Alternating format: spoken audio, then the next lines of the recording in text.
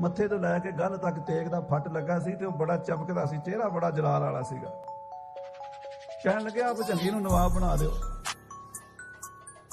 ਉਹ ਕਹਿੰਦਾ, ਜੀ, ਮੈਂ ਤੇ ਸੇਵਾ ਕਰਨੀ ਘੋੜਿਆਂ ਦੀ ਦਿੱਤ ਚੁੱਕਣੀ। ਕਹਿੰਦੇ, ਉਹ ਤੇਰੀ ਰਵੇਗੀ, ਤੇਰੇ ਕੋਲ ਪਰ ਨਵਾਬੀ ਤੈਨੂੰ ਲੈਣੀ ਪਏਗੀ। ਕਿਉਂਕਿ ਜਦੋਂ 6 ਮਹੀਨਿਆਂ ਦਾ ਸੀ, ਕਪੂਰ ਸਿੰਘ ਉਹਦੇ ਪਿਤਾ ਦਲੀਪ ਸਿੰਘ ਜੀ ਲੈ ਕੇ ਆਏ ਸੀ ਅਨੰਦਪੁਰ ਸਾਹਿਬ। ਸਨ 1696 ਤੇ 97 ਦਾ ਜਨਮ ਹੈ ਬਾਬਾ ਜੀ ਦਾ। ਤੋ ਉਹ ਜਦੋਂ ਲੈ ਕੇ ਆਏ ਤੇ ਗੋਦੀ ਵਿੱਚ ਮਹਾਰਾਜ ਦਸਵੇਂ ਪਾਤਸ਼ਾਹ ਨੇ ਫੜ ਲਿਆ ਤੇ ਕਹਿੰਦੇ ਤੇ ਸਾਡਾ ਨਵਾਬ ਹੈ।